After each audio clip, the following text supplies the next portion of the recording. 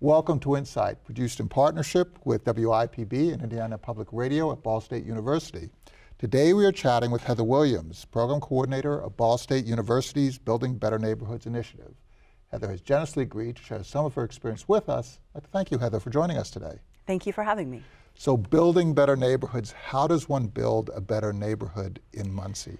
What we do um, with Building Better Neighborhoods is we act as support for the neighborhoods in the city of Muncie.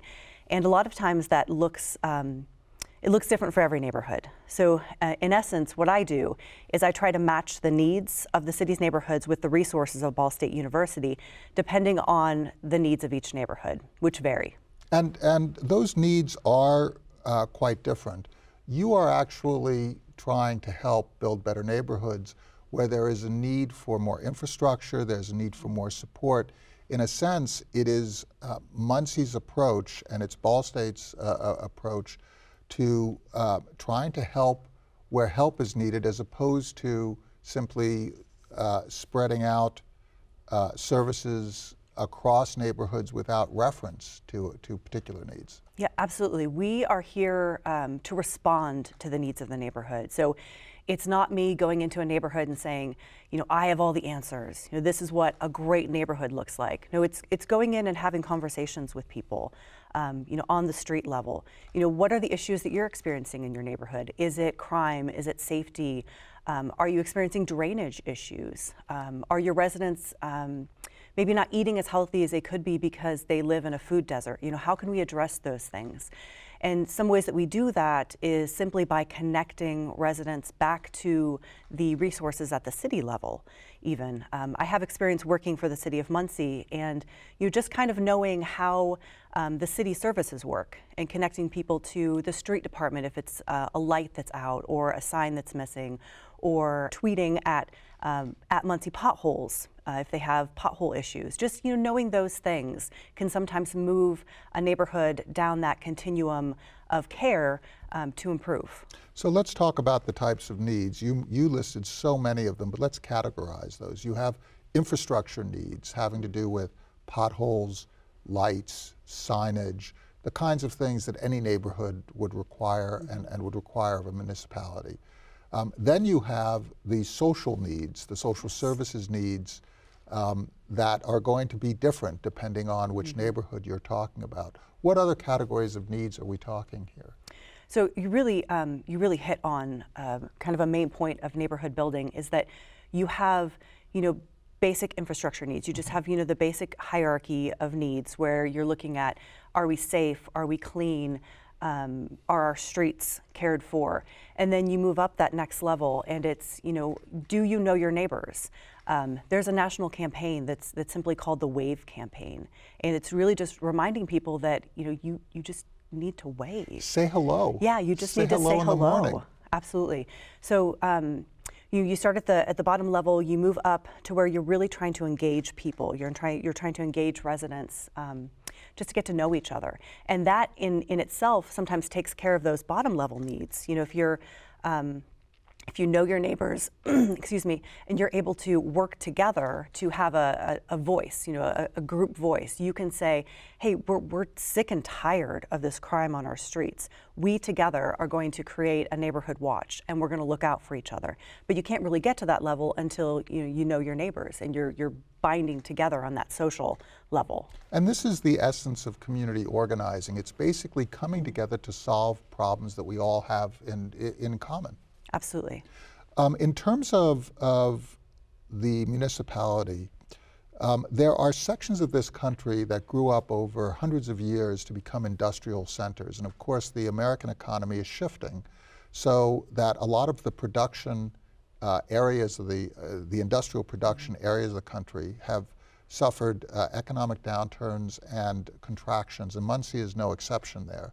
So talk about how that actually informs how you approach different neighborhoods and their different needs as people move away, as, mm -hmm. as neighborhoods that perhaps were once um, uh, middle class are, are, are seeing some, some difficulties. How do you adjust your services to meet the particular needs of different neighborhoods in that respect? Well, we have a, actually a really exciting initiative that's happening on Muncie's uh, southwest side. It's called the 812 Coalition, and I'm a member of the steering committee and the housing committee.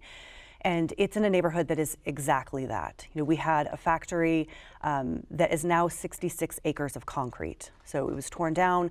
Those jobs are no longer there. So you have residents that um, still live in the neighborhood that used to work there, and then they're you know they've raised families who had an expectation that well, dad worked there, grandpa worked there, uh, mom worked there. I'm going to work there, and now that's gone. So you have um, you know, for the first time, families that you know, were able to care for themselves, care for their home, care for their neighborhood, they're not able to do that any longer. They haven't really adapted. There's also a transgenerational knowledge transfer of skills that are now no longer required. And that's, that's also a very important point. When my father has certain skill sets, and his father has had certain uh, skill sets, and, and my mother and, and my grandmother have had certain skill sets, those skill sets, those attitudes, those that work ethic has mm-hmm. come down to me, and now I have no outlet for it. Absolutely, yes. We have we have a generation of residents in those particular areas of town that are experiencing just that. So looking for ways, you know, to tap into that energy. Um, and that expertise, yes, that knowledge. Absolutely, and getting them back out onto the streets and back engaged in something, even if it really is as simple as a neighborhood cleanup. You know, we want um, through Building Better Neighborhoods, through the 812 Coalition, to really build residents up. You know, it's it's not us to tell people how to live and, and how to engage. It's us to just you know kind of hold their hand and take them along um, the path so that we can help them in whatever we, way we can to redevelop their neighborhood. Not only is Muncie helping itself, but the state of Indiana and um, uh, Indiana nonprofits, foundations, and so on are also investing in these solutions. Talk a little bit about how your, how your interactions with such organizations, including uh, Ball State, mm -hmm. actually uh, are part of the constellation of solutions that you're developing. Well, Muncie is actually very fortunate in that it has a number of very strong um, stakeholders in the community. We have Ball State University, we have Ball Memorial Hospital, and each of these have, you know, really been using their strengths to benefit the community. You know, Ball Memorial Hospital has taken on the Healthy Community Alliance, so they're looking at um, how they can improve nutrition. Um, uh, access to food and to help people um, quit smoking. So they're using their strengths in that avenue. Ball State's using its strengths um, generally through immersive learning to impact the community.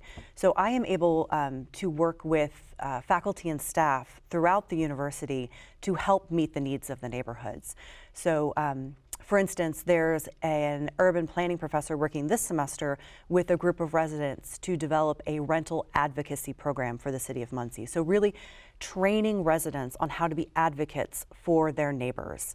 Um, if they're experiencing an issue with housing, you know, if they have a bad landlord, if there are issues with their home, how can these rental advocates help those tenants get into a better situation or work with their landlord so that they, they can um, you know, fix whatever's wrong with their house?